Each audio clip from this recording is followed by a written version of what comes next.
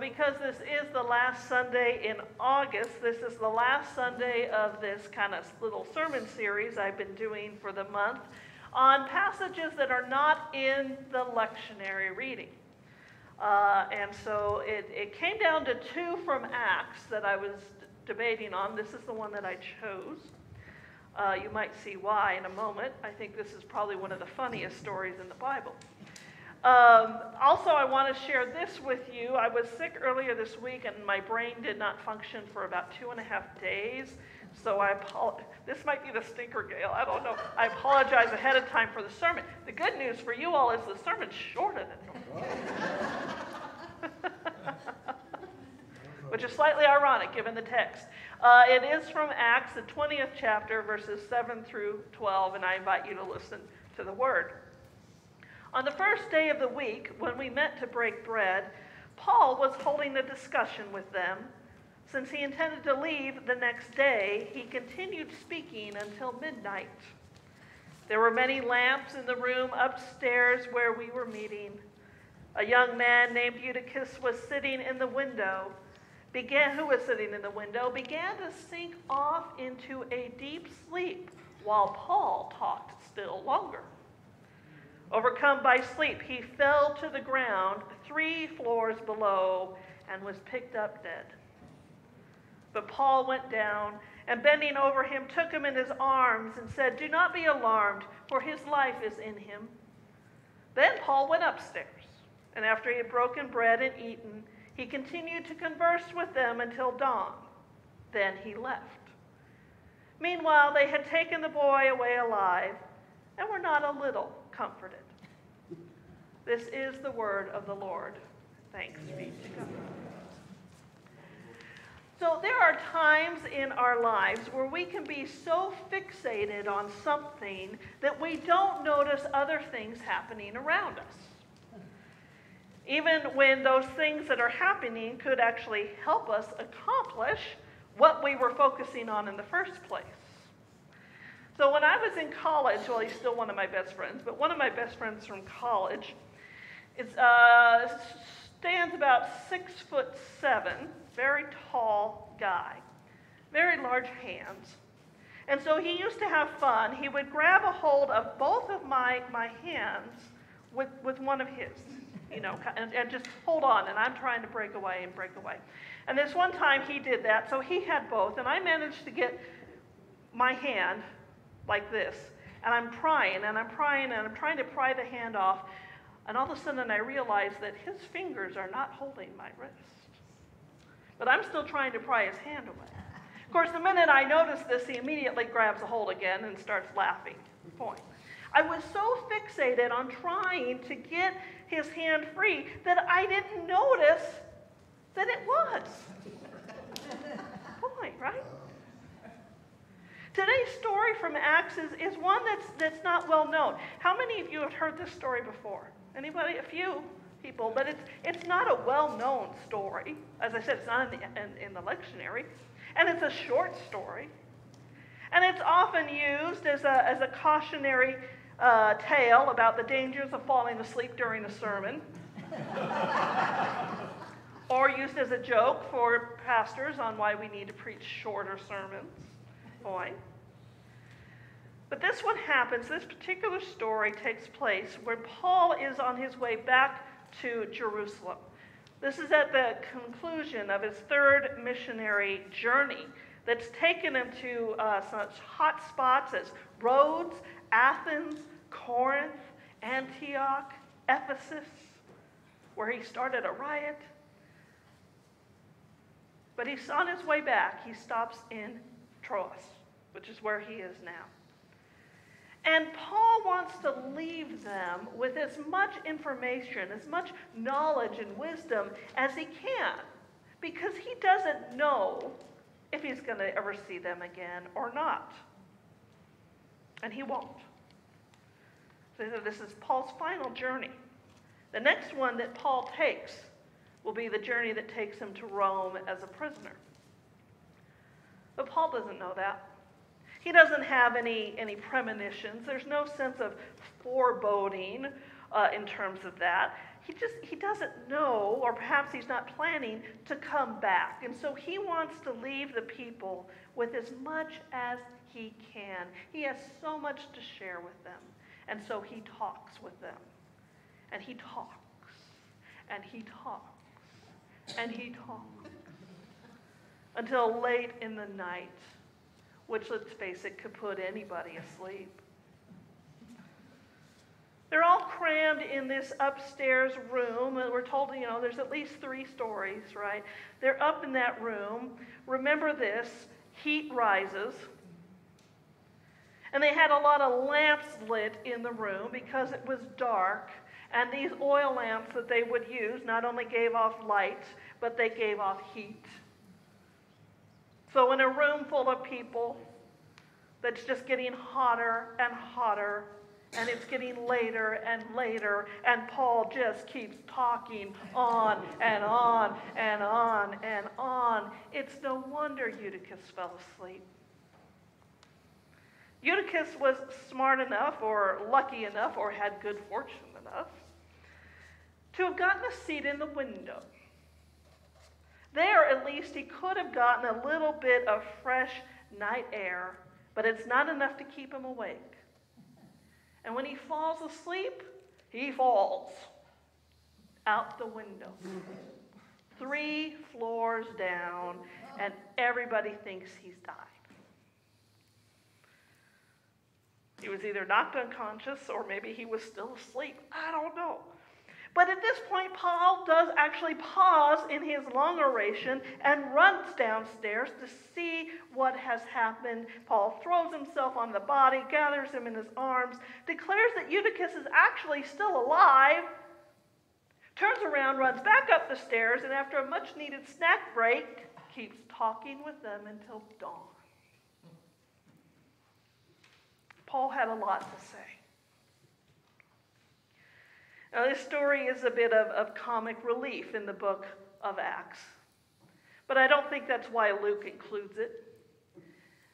Maybe, but I think he includes it for two other reasons, which are kind of connected to one another. The translation of the language can be kind of tricky in this one, but Eutychus is not dead. So they think he's died, but he's not actually dead. The, the, the, the language in the Greek tells us that. And, and the story doesn't even tell us whether or not he was injured in the fall. Probably, but we don't know. We're not told that he was. Paul says he's still alive. There's, there's life in him. He's okay. And there's no mention in Luke of a healing happening here either. Just that they take the home boy home relieved that he's okay. And why that is important is that it reminds us that the story of the Acts of the Apostles is the story of how the Holy Spirit is at work through them, around them, and with them. It serves as a reminder that Paul is not Christ, is not godlike, and that's important. Because there are a lot of places in our world where the misquoted, cherry picked words of Paul have been elevated above anything Christ ever said. But Paul is human. And like any human, he can get so fixated on what he thinks is important that he doesn't notice what's going on around him or he doesn't notice the needs of others around him. In this case, the need for sleep, the need for a break. He doesn't see it until after a disaster happens. This boy has fallen out of the window. But when that happens, Paul does notice and he responds. And that's the other point. Paul does respond. He may have been like the others and thought that Eutychus had died until he actually gets down there. And it's possible that the Spirit, using Paul, does heal Eutychus of any injuries, but that couldn't have happened if Paul hadn't gone down the stairs to begin with. There are so many times when we think that what we have to say or what we have to do or what we think is so important that we miss opportunities for the Spirit to work through us. We can be so determined in achieving a specific goal that we don't see how the Spirit may be moving us in a different way.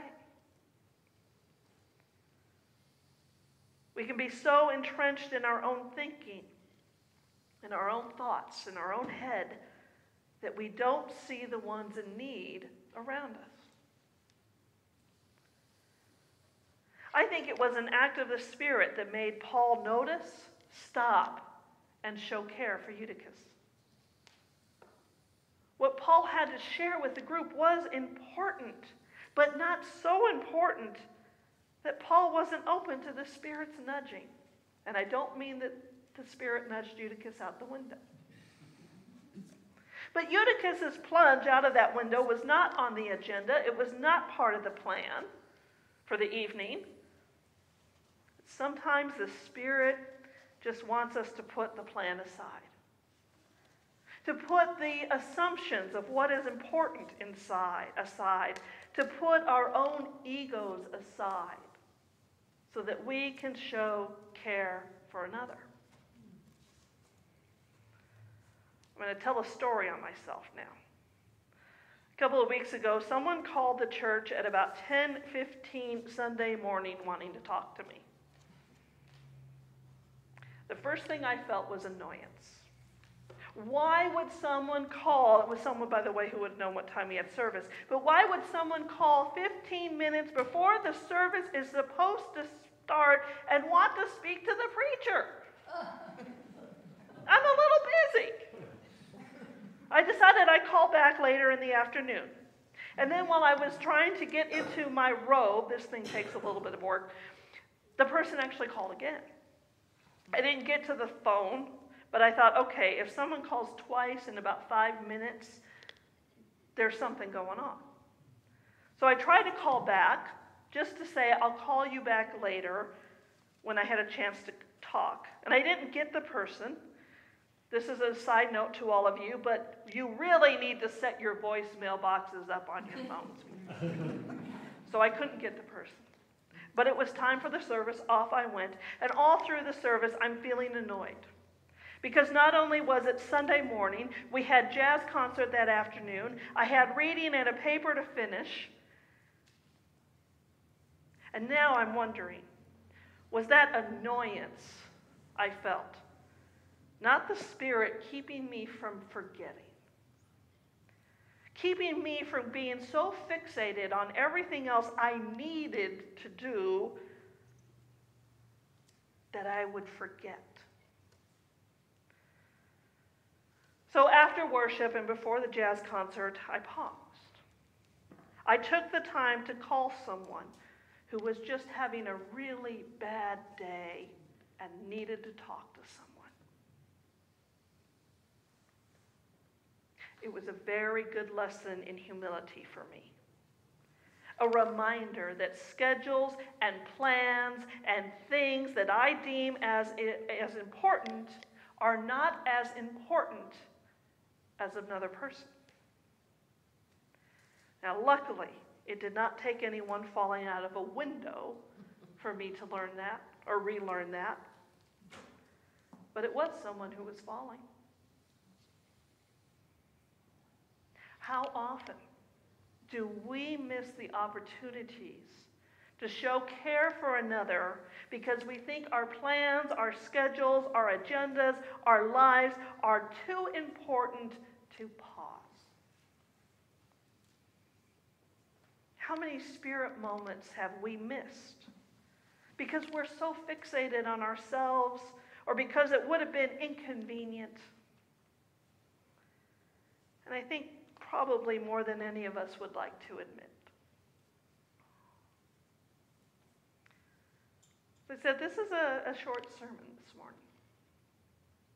So maybe instead of rushing about after the service thinking, hooray, we have extra time to do whatever we need to do today, If we didn't have the all-church luncheon, I was going to make a joke about getting to the restaurants before the Baptists, but we have lunch here, right?